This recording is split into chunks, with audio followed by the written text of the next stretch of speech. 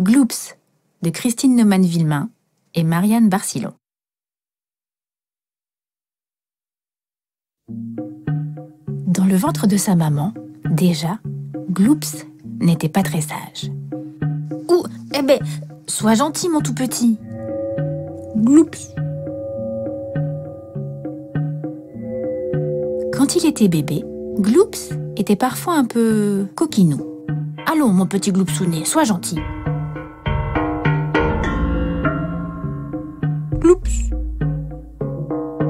Avec sa petite sœur, Gloops se montrait parfois un peu trop affectueux. Ah non, sois gentil avec Croquette. Gloops. Son animal de compagnie le craignait un peu. Recrache, tout de suite. Ça, ce n'est pas gentil. Pas gentil du tout.